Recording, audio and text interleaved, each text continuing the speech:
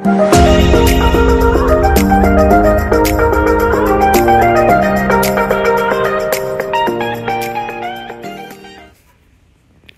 friends good morning welcome back to the channel तो friends यहाँ पर मैं सुबह सुबह उठ गई हूँ और कभी होता है ना कि शूट कर लेती हूँ, कभी नहीं कर पाती हूँ, लेकिन मैं योगा बता दूँ, करती रोज़ हूँ। दस मिनट ही चाहे टाइम निकालूँ, जिस हिसाब से मेरे पास टाइम होता है, उस हिसाब से निकाल लेती हूँ। हालाँकि आज मेरे पास बहुत ज़्यादा टाइम नहीं था बट अप्पे वगैरह बनाने हैं तो उसमें टाइम लग जाता है, क्योंकि वो धीरे धीरे आँच पे होता है ना तो उसमें बहुत टाइम लगता है। तो यहाँ पर मैं एक्सरसाइज जल्दी जल्दी कर लेती हूँ, लेकिन इतना ना करूँ तो पूरा दिन शरीर भारी रहेगा, क्योंकि आदत जो पड़ चुकी है। तो ये एक्सरसाइज क्या योगा कह लीजिए, थोड़ा सा मैं कर लेती हूँ बटरफ्लाई कर लिया। इससे भी थाई वगैरह के फैट जो हैं, वो मेंटेन रहते हैं। ज़्यादा, बहुत ज़्यादा हैवी नहीं होते। तो मतलब ये थोड़ी थोड़ी योगा भी बहुत ज़्यादा शरीर के लिए सही रहता है। और मेरा योगा जो है वो हो गया है। बस थोड़ा सा ही टाइम था तो आज थोड़ा ही की हूँ। सीधे आ गई हूँ किचन में, क्योंकि किचन में मैंने पानी पहले ही केटल में गर्म करके छोड़ दिया था तो बस वो डाल के मैं गर्म पानी सीधे पीऊँगी और फिर लग जाऊँगी अपने काम पर। जैसा कि आप सबको पता है, सुबह बहुत काम होता है, बिल्कुल भी टाइम नहीं होता है। तो आज ना मेरा मटर जा रही है, अब सीज़न मटर का जा रहा है तो मेरा निमोना खाने का मन कर गया। मैंने कहा, चलो निमोना बना लूँगी ना। तो आने के बाद स्कूल से फट से दस मिनट में चावल बन जाता है, क्योंकि चावल में तो टाइम लगता नहीं है और निमोना और चावल का कॉम्बिनेशन बहुत अच्छा लगता है। और यहाँ पर बना रही हूँ, जो मैं कह रही थी ना, रसगुल्ले के चाशनी का। बिल्कुल न्यू रेसिपी तो न्यू रेसिपी ये है कि इसमें आटा है और दूध, और उस चाशनी में मैंने मिक्स किया है दूध के साथ। और मैंने बहुत सारा ड्राई फ्रूट्स इसके अंदर डाल दिया है। और थोड़ा सा मीठा सोडा। और ये पहले अच्छे से फिट चुका है, अब इसमें जगह नहीं है, देख सकते हैं पूरा भर गया है, लेकिन मैंने सबसे पहले इसको अच्छे से फेट ही दिया था।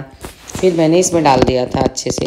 और अब मैं ऊपर से बस ये तो थोड़ा सा भी मिला लूँगी ना, तब भी चल जाएगा, क्योंकि फिटा हुआ है तो ये सॉफ्ट हो चुका है पहले, ये तो मैं ऐसे ऐसे करके ज़रा ज़रा सा मिला लूँगी, तब भी सब में मिक्स हो जाएगा। तो मैं इसको भी गोल गोल करके मतलब उसमें अप्पे स्टैंड में डाल दूँगी बट ये अभी अप्पे बन रहे हैं। मतलब इसको निकालूँगी फिर बीच में उसको डालूँगी, फिर बीच में इसके डालूँगी। ऐसे ही मेरा हो रहा है आज सुबह से। क्योंकि काम आज भी करो तो बहुत टाइम लगता है और सिम पे ही अच्छा पकता है। अगर आप तेज़ करोगे तो जल जाएगा और अंदर से कच्चा रह जाता है। और जब तक ये हो रहा है टाइम लग रहा है, तब तक मैंने देखिए हाँ मल्टीटास्किंग वाला काम किया है। फटाफट मैंने मेथी पड़ी थी। मैंने कहा, चलो, मेथी भी तोड़ लेती हूँ सुबह सुबह साथ साथ में। नाश्ता तो मेरा बन ही रहा है तो मैं ये काम भी कर लेती हूँ। तो यहाँ पर मेरा जो है नाश्ता बन गया है। नीचे बेटर पेपर में बिछा लूँगी और ये चटनी भी आंवले की, बहुत अच्छी आंवले की चटनी बनी हरी धनिए की। तो यहाँ पर मैं अब पे रखना शुरू कर रही हूँ, क्योंकि भाई ले जाना है सबके लिए तो ज़्यादा ही ले जाना है जितना हो सकता है। मतलब मैं सारा भरूँगी।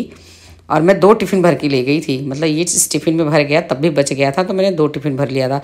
और इनके लिए चार पाँच घर पे छोड़ दिया था, क्योंकि ये मीठा वाला तो खाते नहीं है, अब खा लेंगे। और चटनी। और मैं भी चार पाँच खा के चली गई थी नाश्ते में। तो बस ये दूसरा वाला भी तोड़ बन गया है, तीसरा इसमें डाल दिया है। मैं इधर चाय भी चढ़ा दी हूँ सुबह सुबह तो एकदम चारों हाथ ऐसे हो जाता है ना बिल्कुल देवी जी बन जाओ आठ हाथ हो जाए तब काम हो जाए स्कूल जाने के लिए। यहाँ पर चटनी भी रख लेती हूँ स्टाफ के लिए। और बस किचन का काम हो गया है। देखिए बिल्कुल फुल हो चुका है। मैं नहा के तैयार होंगी। Hello friends good morning welcome back to the channel तो फ्रेंड्स ये है एक और सुबह और मैं आ गई हूँ हमेशा की तरह अपने न्यू वीडियो के साथ। तो चलिए अभी मैं आज थोड़ा सा आपको लग रहा होगा कि क्या है? बड़ी तैयार श्यार हो रखी है। हाँ भाई बड़ी तैयार श्यार हो रखी है क्योंकि स्कूल में है पीटीएम स्पेशल ओकेजन है भाई। क्योंकि रोज नॉर्मली तो हम ऐसे ही जाते हैं, पेरेंट्स हमें ऐसे ही देखते हैं तो लगता है पीटीएम में थोड़ा सा तो मतलब ड्रेसअप होके जाओ। और ये मैं बता दूँ, हमारे स्कूल की यूनिफॉर्म है ये।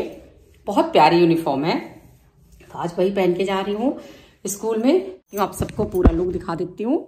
ये है पूरी साड़ी का लुक तो चलिए, अभी मैं स्कूल चलती हूँ। आने के बाद फिर मिलती हूँ, क्योंकि स्कूल में पीटीएम है तो पेरेंट्स आ जाएँगे, उससे पहले हम पहुँचे। स्कूल मतलब टीचर्स पहुँचे, तभी तो अच्छा है। तो चलिए मिलती हूँ, आने के बाद बने रहेगा व्लॉग में। व्लॉग बहुत ज़्यादा इंटरेस्टिंग होने वाला है। फ्रेंड्स आ गए हूँ स्कूल से?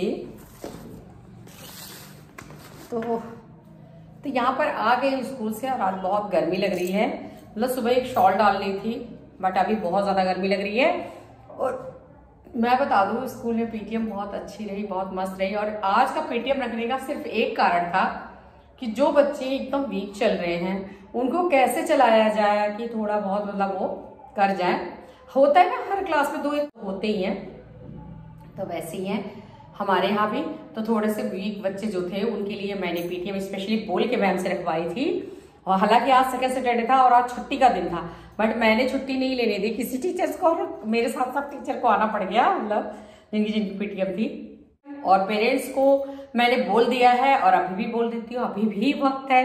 अगर अभी भी आप लोग थोड़ा सा बच्चों के साथ लग जाएँगे स्ट्रिक्टली तो बच्चे भी लग जाते हैं। आज ना बहुत पेरेंट्स की ये शिकायत थी कि मैम, ये मोबाइल देखता रहता है तो मैं बच्चों से भी बोल रही हूँ कि बेटा, वो मोबाइल देखने के लिए आगे की भी मतलब आगे भी टाइम है बट पेपर जो है ना, अगर पेपर में अच्छा रिज़ल्ट नहीं आया ना तो पूरे साल की जो मेहनत तो वो खराब हो जाएगी।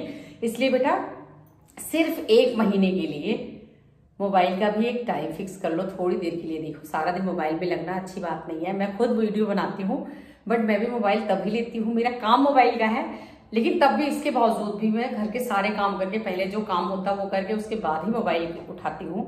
तो आप लोग भी, जैसे पढ़ाई कर लिए थोड़ा सा मन बहलाने के लिए दस मिनट, पंद्रह मिनट चला लिया। बस इतना है, इससे ज़्यादा नहीं कि सारा दिन मोबाइल में गेम खेलते रहो।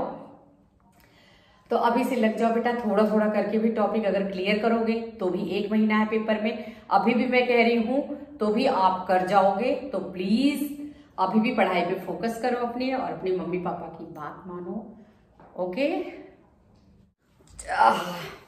तो आज की, जो ये आज की वीडियो है ना, ये बच्चों के ऊपर भी मैं बनाई हूँ। और मैं अभी भी कह रही हूँ, जो भी बच्चे मतलब बोर्ड एग्ज़ाम भी दे रहे हैं ना, उनसे मेरी रिक्वेस्ट है कि अगर वो पेपरों के गैप में भी, जो पेपर का गैप होता है ना दो तीन दिन का तो गैप होता ही होता। है अगर वो दो तीन दिन भी एकदम उसी में डूब जाए अच्छे से, और जो अगला पेपर उसकी उसकी तैयारी करे ना तो भी पेपर बहुत अच्छा हो जाएगा। सच में कह रही हूँ, लेकिन इसके लिए आपको सीरियस होना पड़ेगा। ऐसा नहीं चलेगा कि सिर्फ़ बुक लेके बैठे हो। कुछ बच्चे होते बुक लेके बैठते रहते दिमाग में कुछ और चलता है। नहीं, जब आप बुक लो ना, तब आपका दिमाग जो है बिल्कुल कॉन्सेंट्रेट सिर्फ़ बुक में ही होना चाहिए। आपका दिमाग कहीं और होना ही नहीं चाहिए। ये बेटा सिर्फ़ एक महीने इतने ज़्यादा अच्छे से कर लो पढ़ाई की, पूरे साल का जो रिज़ल्ट है वो अच्छा है। अब आपको भी, खुद को भी प्राउड फील हो अपने ऊपर कि हाँ मैंने कर लिया।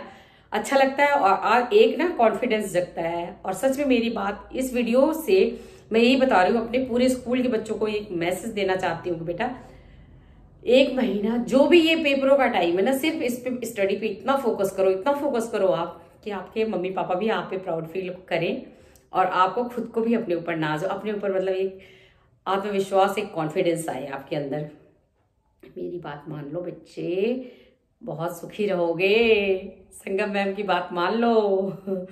और सच बच्चे, ना जब मन उब जाए तो आप टीवी भी देख सकते हो, मोबाइल भी देख सकते हो, बाहर भी जा सकते हो, ऐसा नहीं कि सब कुछ छोड़ के। लेकिन मेरा ये कहने का मतलब है, कहते हैं ना, अत्य किसी चीज़ की अच्छी नहीं होती। अगर हद से ज़्यादा आप मोबाइल देख रहे हो तो नहीं अच्छा है। हद से ज़्यादा आप बाहर घूम रहे हो वो भी नहीं अच्छा है। हद से ज़्यादा किसी चीज़ की अति अच्छी नहीं है।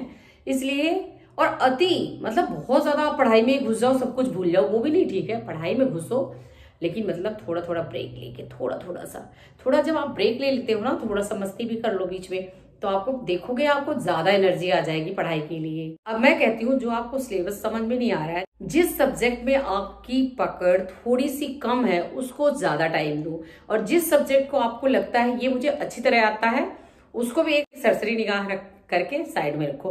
क्योंकि वो तो आपको आता ही है, वो पेपर होगा तो एक दिन पहले भी पढ़ लोगे अच्छे से, तब भी आ जाएगा। लेकिन जिसमें एकदम आपको लगता है नहीं, इसमें मुझे बहुत ज़्यादा ज़रूरत है, उसको तो आपको डेली के डेली उसमें अच्छे से टाइम देना ही देना है उस सब्जेक्ट पे। तो इससे होगा ये कि लास्ट तक जब तक पेपर होगा ना, आपकी बहुत अच्छी तैयारी हो जाएगी। ये ट्रिक अपना के देख लो बेटा। सभी बोर्ड एग्ज़ाम वालों के लिए, सभी पेपर वालों के लिए, बोर्ड एग्ज़ाम के लिए और भी दूसरे जो बच्चे हैं भाई, जो हमारे क्लास के बच्चे हैं, उनको भी मैं बोल रही हूँ। अगर बात मेरी समझ में आए तो ये टाइम जो है ना बेटा बिल्कुल पढ़ाई का टाइम है। ये वीडियो अच्छी लगी आप लोगों के लिए जो मैंने ये वीडियो स्पेशल बनाई है, कि पढ़ाई को थोड़ा थोड़ा करके करोगे तब भी हो जाएगी। और जो सब्जेक्ट आपका सबसे वीक है, उस पर ज़्यादा टाइम दो, ज़्यादा फोकस करो। टीचर्स से पूछो, कैसे थोड़े थोड़े मतलब थोड़े थोड़े पार्ट में टाइम अपने आप मैनेजमेंट करो, पढ़ाई करो, और अपने टाइम टेबल फिक्स करो। अपना टाइम टेबल जब तक आप लोग फिक्स नहीं करोगे, तब तक कुछ भी नहीं हो पाएगा। होगा ये कि आपको लगेगा मेरे पास टाइम ही नहीं है। और जिस दिन आप टाइम टेबल फिक्स कर लोगे, उस दिन आपको कि आपके पास टाइम ही टाइम रहेगा, सच में। तो वीडियो अच्छी लगी तो लाइक कीजिए सब्सक्राइब कीजिए चैनल को। मिलती हूँ नेक्स्ट वीडियो के साथ। तब तक के लिए बाय